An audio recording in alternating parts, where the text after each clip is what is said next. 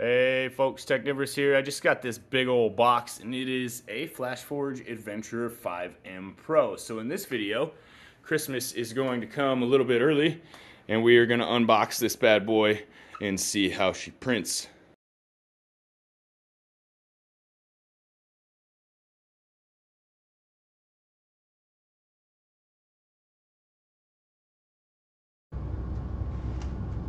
So after removing it from the box and removing a lot of the packaging, we're to take off the plastic, open it up, and there is a lot of stuff inside that we also need to remove. So let's go ahead and free this up a little bit, get all of this stuff cleaned up here. There you go. And you can see that it's still got all this foam inside, which we need to remove. Now, if you read the directions that come in the top of the box, it'll tell you which way that the foam needs to be removed. And then there's this little box down here that includes a lot of our goodies. We'll take it out.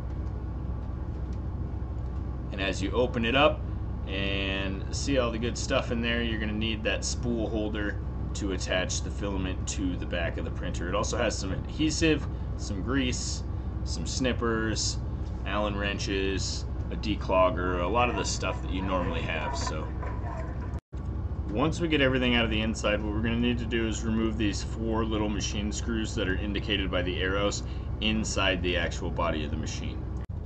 So now it should look pretty much like this. I have both the doors open. We're going to grab the filament. I've already attached the filament spool holder to the back of the machine, as you can see around the corner here spool on, it's going to go up into this Bowden tube here. It'll come around, come out the top, and go into the actual machine. Now, I did have to push the Bowden tube down into the actual receiver there, but this is pretty much the only setup you're going to have to do. And you can see the filament in the tube.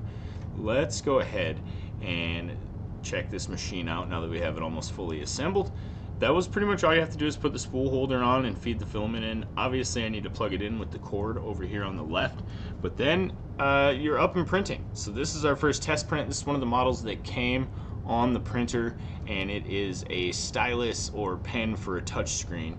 And to do something tall and narrow is pretty impressive, but it did this in a total of about 40 minutes, and that's pretty high. So this thing's going pretty fast uh, and the model quality is excellent. Yeah, so as you can see, it is still finishing up here. This is the first model that came on the machine. There are a couple of others, and in a minute here you'll also see a bench Benchy that I did. This is the final print. Final print time was 40 minutes, and for it to be hauling that fast and make something that's tall and skinny like this, I was really, really impressed.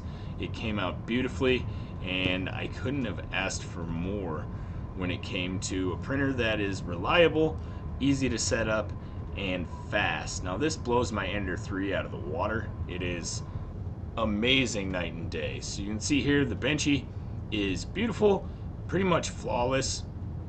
There was really no stringing or anything. All of the corners are straight.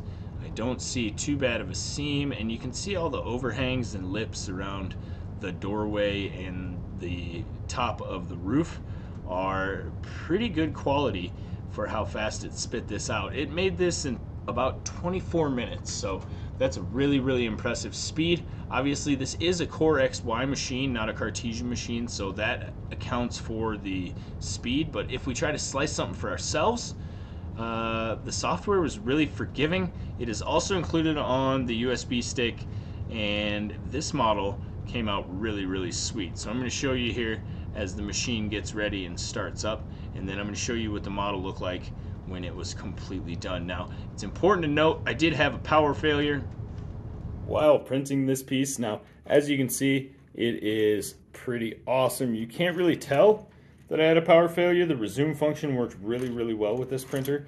And obviously, this wasn't a print in place, it was printed in several pieces, but the pieces snap together and the tolerance is about perfect. Now, this is actually the bottom side, and it's almost indistinguishable from the top side, even though you can get a little bit of the PEI texture if you get it just, just the right angle. But man, this model uh, spit out of there in about an hour and 20 minutes. That's for every piece. The whole build plate was full and everything went together just perfectly and amazingly well. Look at this print, guys. It's amazing. So this is a Velociraptor head for mounting on a wall, and it's just gorgeous. The quality here and speed, I mean, this was 11 hours. This would have taken two days on my Ender 3. So uh, this actually came out so well and so beautiful and it was so fast that I decided that I would also do a T-Rex head in this beautiful green. Now look at this thing hauling around and cranking this out. This particular model came out to be 13 hours, but man, it is just beautiful so far and I could not be more pleased with this printer.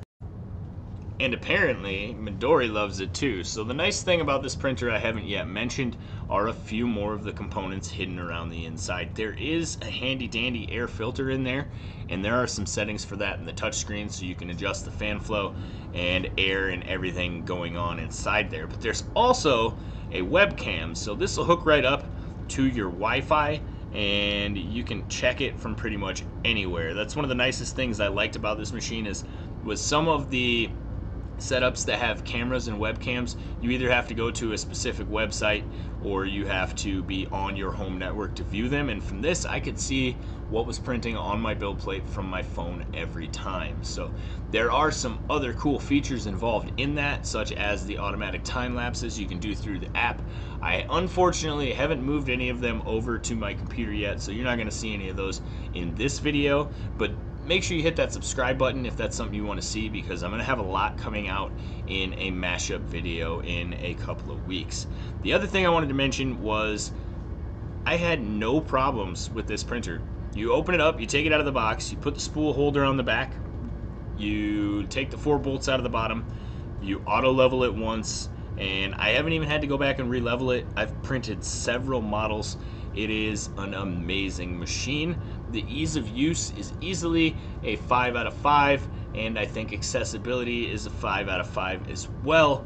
The magnetic build plate is a nice touch. It's very easily removable, but I haven't had any problems with the models sticking or warping or not sticking to the bed for that matter. So this, I have nothing bad to say about this printer. This is honestly the best experience I've ever had with a desktop 3D printer, and everything I touched, everything I tried to do came out pretty much flawlessly. Even when I had a power failure, the resume function is top notch. I could not ask for better. I couldn't even tell that it happened after I finished the print, and I am very, very excited to try out everything that FlashForge puts out from now on because this this was an eye opener, guys. It really is. It's it's a world of difference between looking at a standard Cartesian machine and seeing how fast this this can crank out a model and still have smooth beautiful lines, no vibration, no ringing. It's just an amazing piece of equipment, and I highly recommend checking it out.